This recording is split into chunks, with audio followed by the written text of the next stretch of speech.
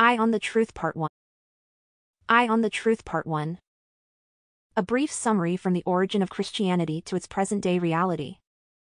Preface This book is a brief summary from the origin of Christianity to its present-day reality. Christians need to know that the original message preached by Jesus was the belief in one God and unifying him in worship. In this summary, I will refer to the Quranic verses which mention the story of Jesus Christ and his mother as well as the biblical verses to highlight to the Christian readers the true message of Jesus Christ using their own sources. This book is for all open-minded people and the seekers of the truth, to let them know that what was sent by the Creator, Allah, to all nations, through all his messengers, throughout history, was one unique message which is pure monotheism. Allah, the Christians, Jews, and Muslims in the Middle East use the word Allah to refer to God. It means the only true God. The word Allah was mentioned in the earlier version of the Old Testament 89 times. Refer to Genesis 2 verse 4, Book of Daniel 6 verse 20, Hebrew and Arabic Bibles. Prophet Jesus was one of God's pious messengers who endeavored to guide their people to the truth, but many people followed their interpretations and went far from his prophetic teachings. I pray to God that this book will be beneficial to its readers and a source of guidance and blessing in this life and in the hereafter. Introduction The belief in the oneness of God as a theological concept began at a very early stage in history. In fact, it preceded by many centuries the belief in the Trinity, which was never mentioned in the teachings of the prophets of God, i.e., Abraham, Moses, and even Jesus Christ himself. All prophets carried the same message to all nations. A simple straightforward message that is considered the condition of salvation, belief in one God, the Creator, and unifying Him in worship. Every prophet was the way for the people of his time to get salvation, by following his teachings. Worshipping like him, not worshipping the prophet himself or any other intermediary, idol, saint, priest, etc. It is the right of the Creator to be worshipped alone and the right of every human being to have a direct connection with his Creator. Prophet Abraham is the ancestor of Judah, the namesake of the Jews. The Jews firmly believe that there is only one God. Judah taught his people the religion of Prophet Abraham and the religion of all the prophets who came before him which is pure monotheism, believing in one God and unifying him in worship. This is the exact definition of Islam, the religion which started with Prophet Adam and continued with Prophet Muhammad the last prophet. The concept of the Trinity. It's difficult to reconcile the original message of Jesus, the honored human prophet preaching in Jerusalem to the Trinitarian Christianity with Jesus as God and or Son of God adopted in the Council of Nicaea three centuries later. The Council of Nicaea, the first ecumenical debate held by the early Christian Church, concludes with the establishment of the doctrine of the Holy Trinity. Convened by Roman Emperor Constantine I in AD 325. According to Jesus. Now this is eternal life, that they know you, the only true God, and Jesus Christ whom you have sent. John 17 verse 3. According to Will Durant, the doctrine of the Trinity which was affirmed in the 4th century CE bears no resemblance to the original teachings of Christ concerning the nature of God. It is a complete deviation from his teachings. Will Durant When Christians conquered Rome, the new religion, i.e., Christianity, was infused with the blood of the old idolatrous religion the title of archbishop, worshipped for the Great Mother, and an innumerable number of lords who gave peace of mind and were like who exist in all places and cannot be detected with the senses. All of this came into Christianity as the blood of the mother comes into her child. The civilized empire handed over power and administration to the papacy and the impact of the word replaced the impact of the sword. The preachers of the church started to have positions of power. Christianity instead of putting an end to idolatry, it reinforced it. The Greek faith came back in the rituals and the doctrines of the church and the monastic saints. The Story of Civilization 11418, an American writer, historian, and philosopher.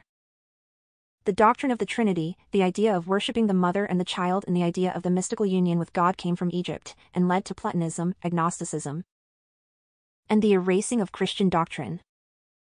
Mithraism, which is a religion of Persian origin, prospered in Persia around 6 centuries before the birth of Christ, and it reached Rome around the year 70 CE, where it spread throughout the Roman lands. Then it reached Britain and spread to a number of British cities. Mithras was an intermediary between God and man, a similar doctrine in Christianity. He was born in a cave or in a corner of the earth. His birthday was December 25th, which is the day celebrated by the Christians as the day when Jesus was born. He had twelve disciples. He died to save the world. He was buried but he came back to life. He was called Savior. Among his attributes is that he was like a peaceful lamb. The Divine Supper was held in his memory every year.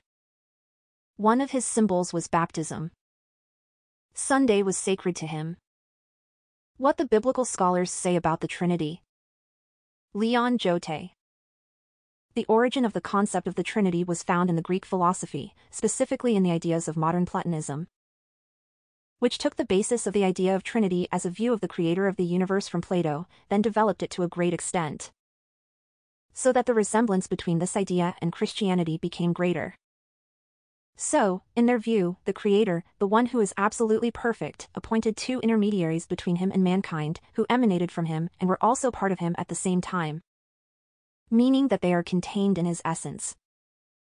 These two entities are reasoning and divine spirit. An introduction to Islamic philosophy. A French Orientalist. Then he said, the marriage of Jewish belief and Greek philosophy did not only produce philosophy, rather it produced a religion too, namely Christianity which imbibed many ideas from the Greeks. The Christian concept of divinity is taken from the same source as modern Platonism. Hence you see many similarities between the two, although they may vary in some details. They are both based on a belief in Trinity, in which the three persons are one. God confirms this in the Quran, and the Christians say, the Messiah is the Son of God. That is their statement from their mouths. They imitate the saying of those who disbelieved, before them, Quran 930. The Jews and the Christians associate partners with Allah, the Jews do so by claiming that Uzair is the son of Allah. And the Christians do so by claiming that the Messiah, Jesus, is the son of Allah. What they say with their own mouths is simply made up without any proof from Allah. By saying such things, they are similar to the idolaters before them, who said that the angels were the daughters of Allah. Allah is far above such things, may Allah destroy them. How can they turn away from the clear truth to falsehood? At-Tawbah, 31. The last book sent by God. Muslims believe as well in all the earlier revelations of God, the scriptures of Abraham, the Book of David, the Torah, the Gospel, etc. Muslims believe that the original message in all the sacred books is pure monotheism, unifying God in worship. Unlike the divine scriptures that preceded, the Quran has not been kept in the hands of any particular group or clergyman of Muslims which could have led to its misinterpretation or alteration. On the contrary, the Quran has always been within the reach of all Muslims who recite it in their daily prayers and refer to it for all their concerns. John Draper Idolatry and polytheism entered Christianity through the influence of the hypocrites who occupied positions of influence and high positions in the Roman state by pretending to be Christians but they never cared about religion and were not sincere at all. Similarly, Constantine had spent his life in darkness and evil, and he did not follow the commands of the church except for a short while at the end of his life. History of the conflict between religion and science, John William Draper an English-born American scientist. There is only one verse in the Bible that is taken as evidence for the concept of the Trinity. For there are three that bear record in heaven, the Father, the Word, and the Holy Ghost, and these three are one. And there are three that bear witness in earth, the Spirit, and the water, and the blood, and these three agree in one. 1 John 5 verses 7 to 8 KJV. However, it is very well known that this verse is a later insertion of the Church. All recent versions of the Bible and most others do not include this verse.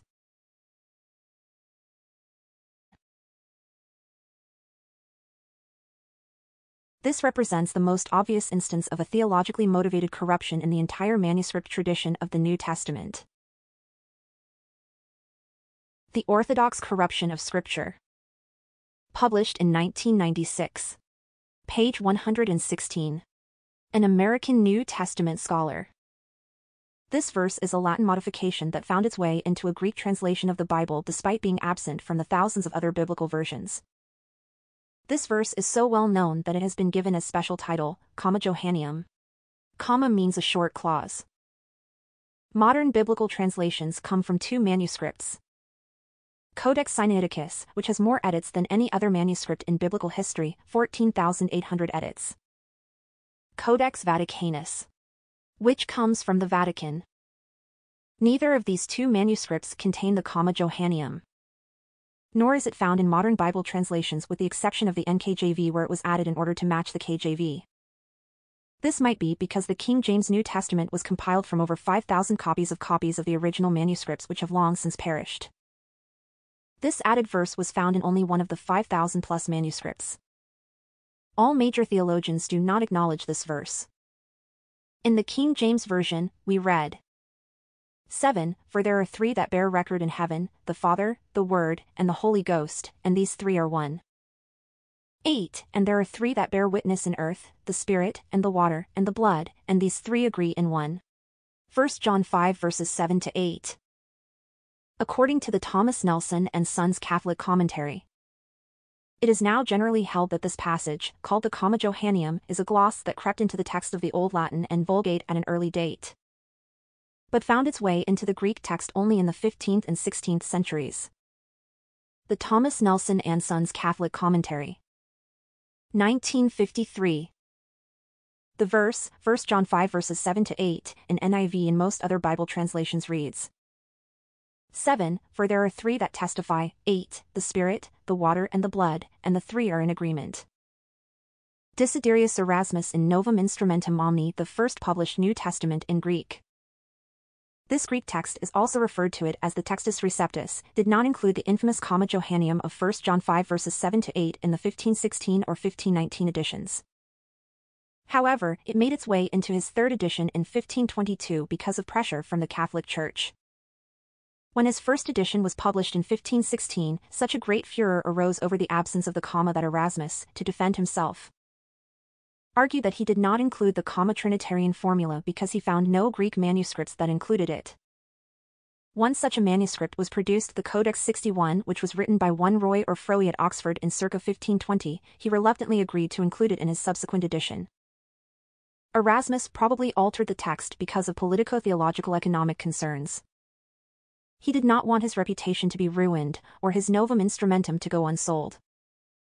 Thus, the comma passed into the Stephanus Greek New Testament in 1551, First New Testament in verses, which came to be called the Textus Receptus, and became the basis for the Geneva Bible New Testament in 1557 and the Authorized King James Version in 1611. Benjamin Wilson This text concerning the heavenly witness is not contained in any Greek manuscript which was written earlier than the 15th century. It is not cited by any of the ecclesiastical writers, not by any of early Latin fathers even when the subjects upon which they treated would naturally have led them to appeal to its authority. It is therefore evidently spurious. The true message of Jesus Christ. Scripture translator, emphatic diaglot. This text concerning the heavenly witness is not contained in any Greek manuscript which was written earlier than the 15th century Greek manuscript. A conservative version, because those who testify are three, Analytical literal translation. Because three are the ones testifying. An understandable version the New Testament. For there are three who give their testimony about Jesus. American Standard Version.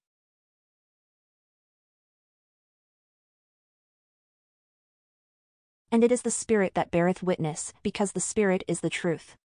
Bible Basic English.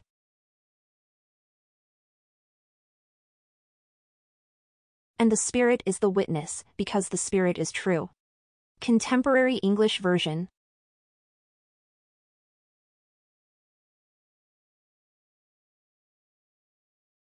In fact, there are three who tell about it.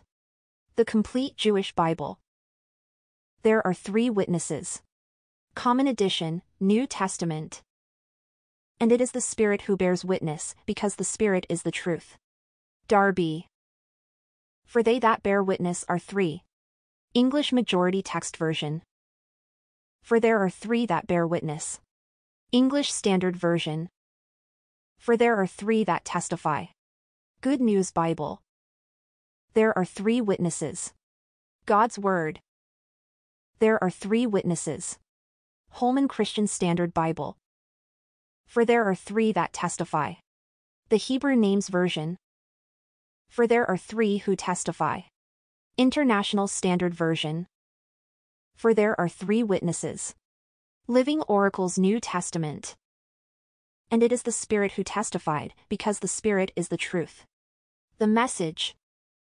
A Triple Testimony. New American Standard Bible. For there are three that testify.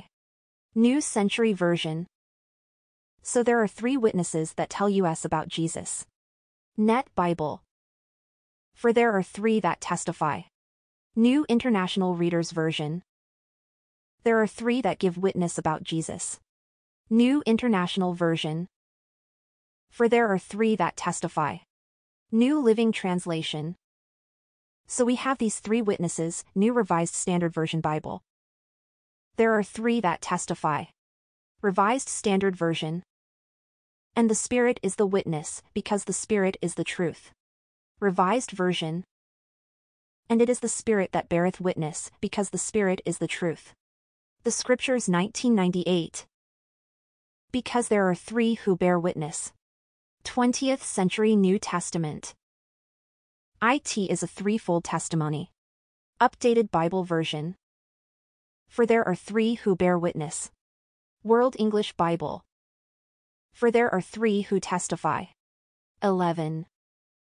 Martin Luther kept out the passage in his German Bible, 1545. But in 1574 the printer Feyerabend added it to later editions of Luther's translation. The Expositor's Bible Commentary also dismisses the King James and New King James Versions editions as obviously a late gloss with no merit. The New Testament Canon. Glenn Barker, Volume 12, 1981, page 353. Edward Gibbon. All the manuscripts now exist, above fourscore in number, some of which are more than 1,200 years old, the orthodox copies of the Vatican, of the Complutensian editors of Robert Stephens are becoming invisible, and the two manuscripts of Dublin and Berlin are unworthy to form an exception. In the 11th and 12th centuries, the Bibles were corrected by Lanfranc, Archbishop of Canterbury, and by Nicholas, a cardinal and librarian of the Roman Church, Secundum Orthodoxum Fidem. Notwithstanding these corrections, the passage is still wanted in 25 Latin manuscripts, the oldest and fairest, two qualities seldom united, except in manuscripts. The three witnesses have been established in our Greek testaments by the prudence of Erasmus, the honest bigotry of the Complutensian editors. The typographical fraud, or error, of Robert Stephens in the placing of a crotchet and the deliberate falsehood, or strange misapprehension, of Theodore Beza. Decline and Fall of the Roman Empire, 4, Gibbon, page 418. Gibbon's findings were supported by his contemporaries, such as the brilliant British scholar Richard Porson who also proceeded to publish conclusive proof that 1 John 5, 7, was first added by the Church in 400 AD. The most learned scholars of Christianity now unanimously recognize this verse to be a later interpolation of the Church has not prevented the preservation of this fabricated text in our modern Bibles. To this day, the Bible in the hands of the majority of Christians such as the KJV still unapologetically includes this verse as the inspired word of God without so much as a footnote to inform the reader that all noteworthy scholars of Christianity unanimously recognize it as a later fabrication. It was only the horrors of the Great Inquisitions which held Sir Isaac Newton back from openly revealing these facts. According to Newton, this verse first appeared for in the third edition of Erasmus's 1466 to 1536 New Testament. The text in 1 John 5 verse 7 only exists in eight Greek manuscripts. These contain the verse in what appears to be a translation from a late recension of the Latin Vulgate. Four of the eight manuscripts contain the verse as a variant reading written in the margin to identify it as a later addition to the manuscript. The eight manuscripts are as follows. 61, Codex Montfortianus, dating from the early 16th century. 88, a variant reading in a 16th century hand, added to the 14th century Codex Regius of Naples. 221, a variant reading added to a 10th century manuscript in the Bodleian Library at Oxford. 429, a variant reading added to a 16th century manuscript at Wolfenbüttel. 629, a 14th or 15th century manuscript in the Vatican. 636, a variant reading added to a 16th century manuscript at Naples. 918, a 16th century manuscript at the Escorial, Spain. 2318, an 18th century manuscript, influenced by the Clementine Vulgate, at Bucharest, Romania. The passage is not quoted by any of the Greek fathers, it would most certainly was adopted in the Trinitarian controversies. Its first appearance in Greek is in a Greek version of the Latin Acts of the Lateran Council in 1215. Furthermore, the text does not exist in the manuscripts of all ancient versions, Syriac, Coptic, Armenian, Ethiopic, Arabic, Slavonic, with the exception of the Latin version.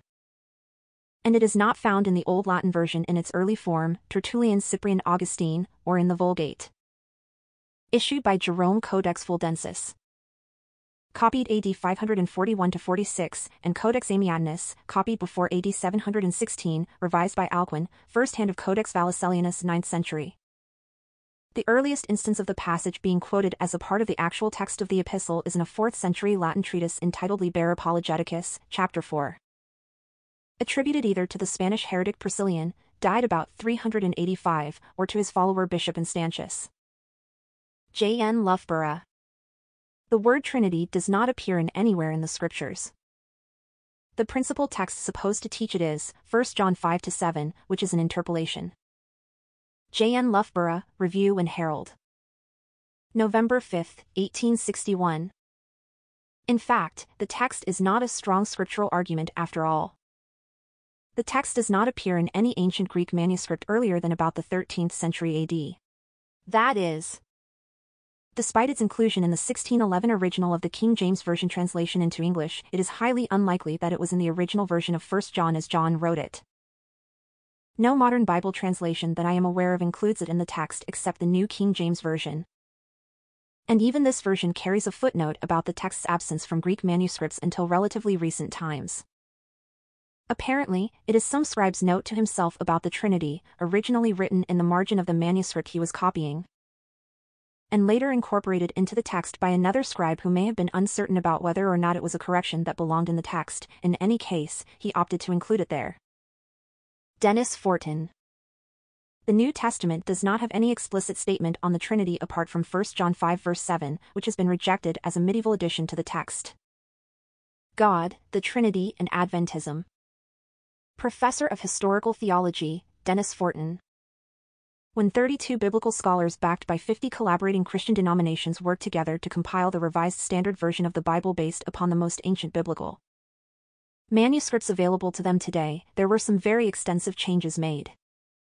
Among these was the unofficial rejection of the text of 1 John 5 verse 7 as the fabricated insertion which never belonged in the inspired Word of God. In any way this addition does not confirm the doctrine of the Trinity. The illegitimate edition as it is, presents the Father, Word and Holy Spirit as witnesses.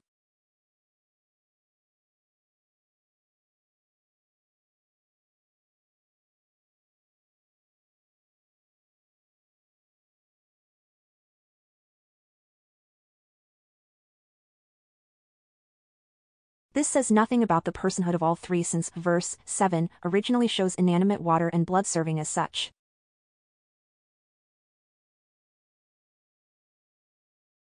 The word, Trinity, did not come into common use as a religious term until after the Council of Nicaea on May 20, 325 AD, several centuries after the last books of the New Testament were completed. And in fact it is not a biblical concept, which has been proven to originate from pagan sun worship. James White made numerous anti-Trinitarian statements and never changed his anti-Trinitarian stance even in the year of his death in 1881 when he said, the Father was greater than the Son in that he was first. James Springer White, August 4, 1821 to August 6, 1881, also known as Elder White, was a co-founder of the Seventh-day Adventist Church and husband of Ellen G. White.